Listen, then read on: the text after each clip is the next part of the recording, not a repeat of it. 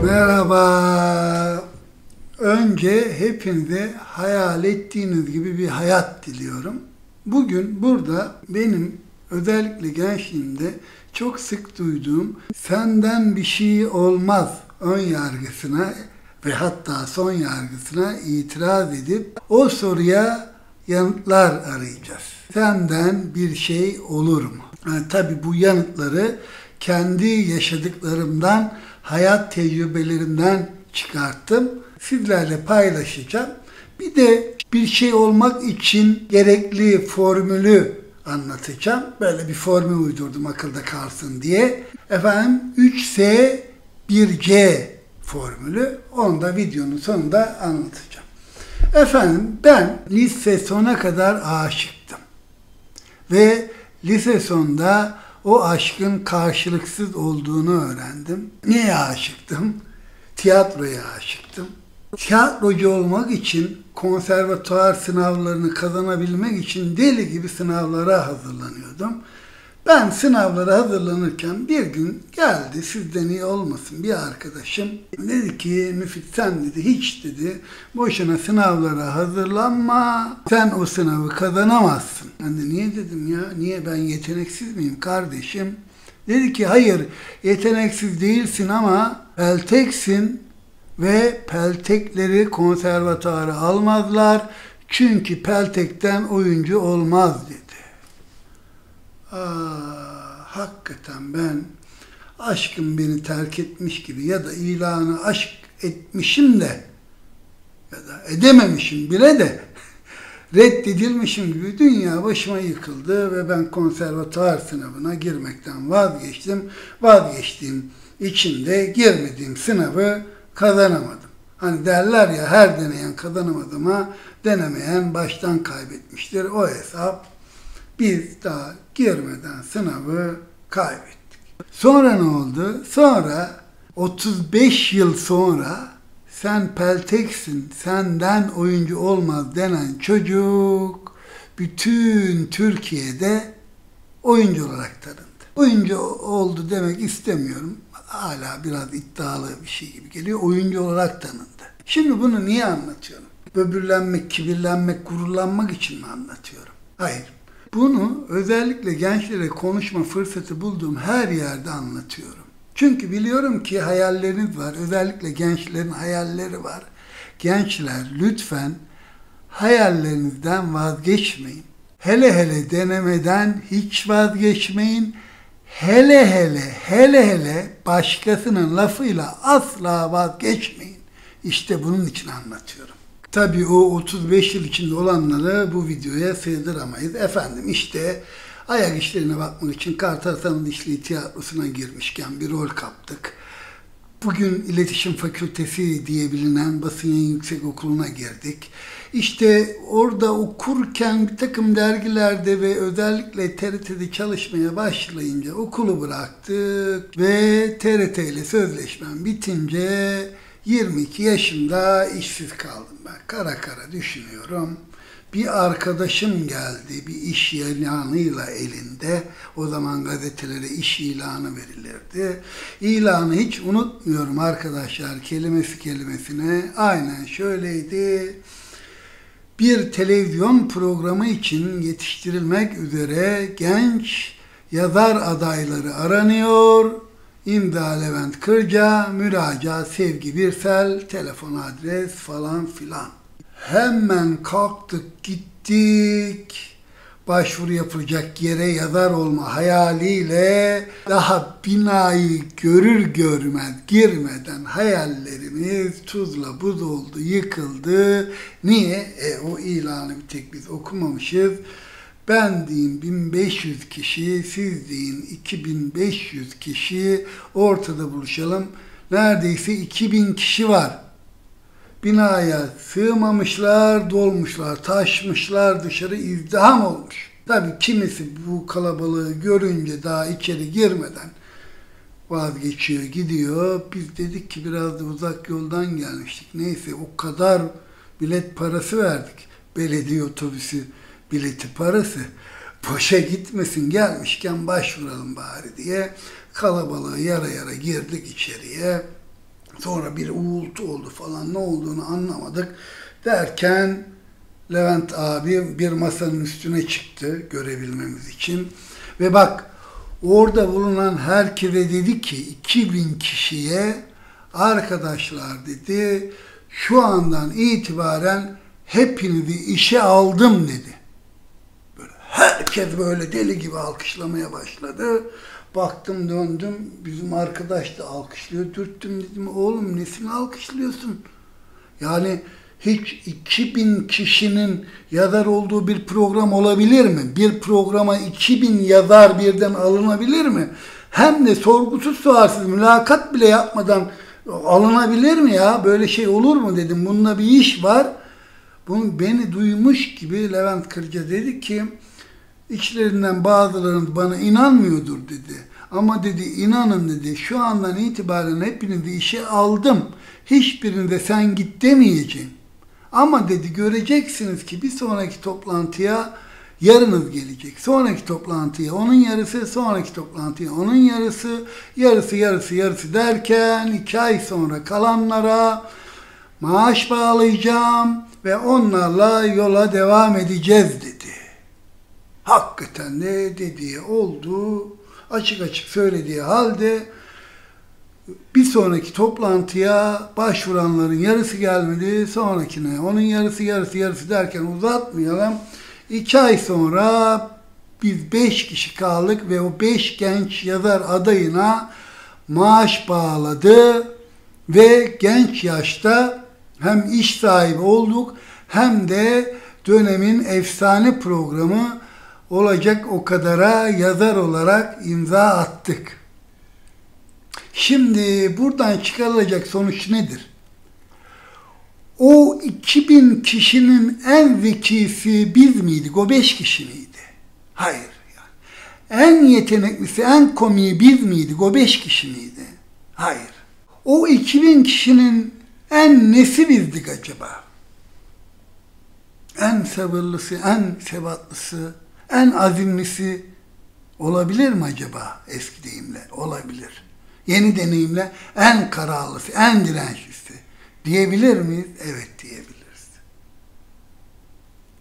İşte arkadaşlar istediğin kadar zeki ol, yetenekli ol, efendim bilgi, birikim sahibi ol, yeteri kadar sabrın, sevatın, direncin yoksa senden bir şey olmuyor, olamıyor. Evet, ilkse sabır ve sebat diye. 22 yaşında ben Levent Kırca'ya başvurmuştum yazar adayı olarak. Şimdi 52 yaşındayım. Bana başvuran genç yazar adayı arkadaşlar var. Diyorlar ki abi şu yazdıklarıma bir bakar mısın? Benden yazar olur mu olmaz mı? Ben de diyorum ki güzel kardeşim ben senin yazdıklarına bakarak senin yazar olup olmayacağını söyleyemem ama yazmadıklarına bakarak senin yazar olup olmayacağını söyleyebilirim. Diyor ki abi olur mu öyle saçma şey?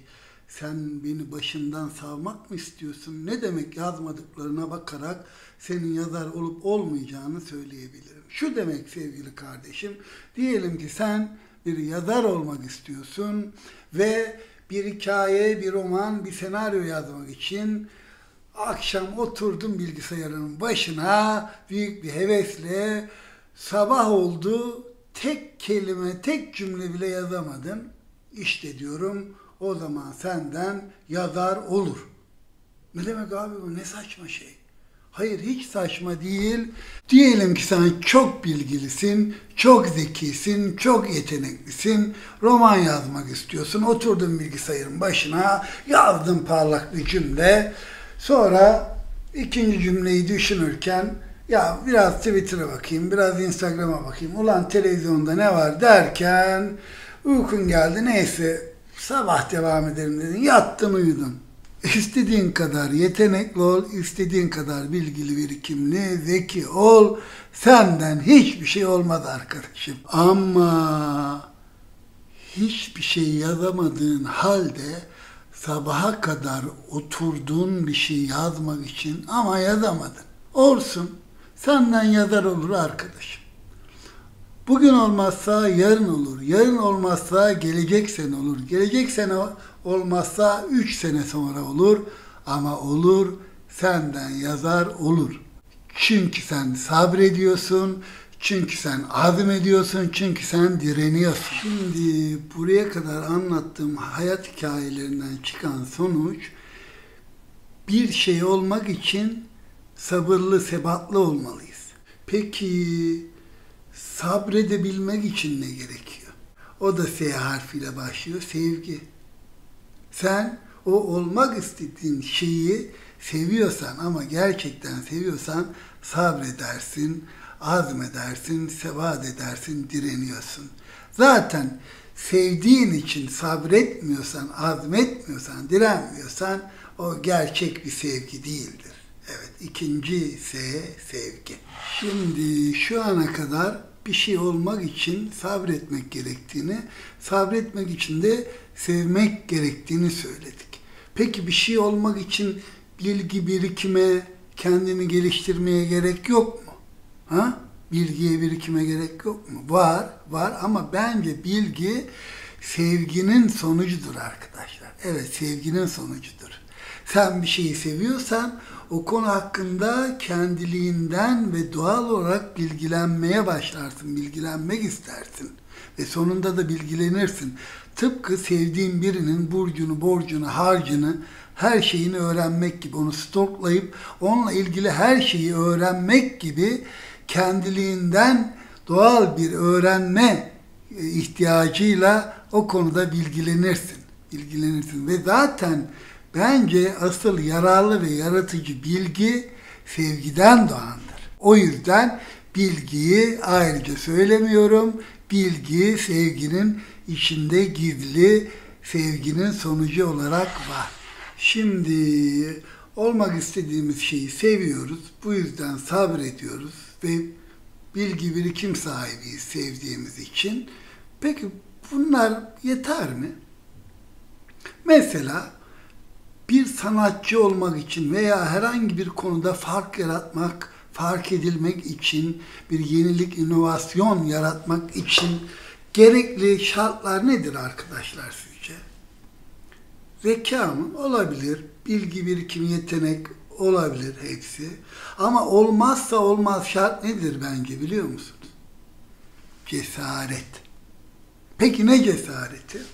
Tabi cahil cesareti değil.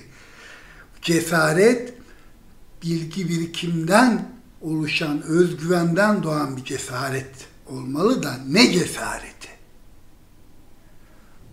Bana sorarsanız rezil olmayı göze alma cesaret. Rezil olmayı göze almayan hiç kimse sanatçı olamaz ya da herhangi bir konuda fark yaratamaz, fark edilemez, bir yenilik, bir inovasyon yapamaz, gerçekleştiremez. Yeni bir fikir, yeni bir kişi ilk ortaya çıktığında önce biraz böyle bir dalga geçilir, alay edilir, gülünür. Daha doğrusunu yıllar önce Gandhi söylemiş. Diyor ki önce seni görmezden gelirler, sonra gülerler, sonra karşı çıkar, kavga ederler ve sonunda sen kazanırsın. Evet, bir şey olmak için cesaret lazım, sevgi, sabır lazım. İki S bir C formülü dedik. Üçüncü S ne? Sorma. Sorma. Senden bir şey olmasını istiyorsan benden bir şey olur mu diye hiç kimseye sorma. Benden bir şey olur mu diye soran insandan hiçbir şey olmaz. Bir şey olacak insan benden bir şey olur mu diye sormaz. Herkesin bir şey olma tarifi farklı olabilir. Anne babalarımıza bakarsak bir şey olmak demek işte erkeksen askere gidip işte meslek sahibi olup evlenmek. Efendim ne bileyim bir ırkçı faşiste göre bir şey olma tarifi farklıdır. Bir bilim insanına göre farklıdır. Mesela bu sistemin bir şey olma tarifi bırakın çalışan olmayı müdür olmak demek. Müdür olup genel müdür tarafından fırçalanmak demek veya patron olmak demek, patron olup daha büyük patronlar tarafından ezilmek demek. Bırakın çalışan olmayı.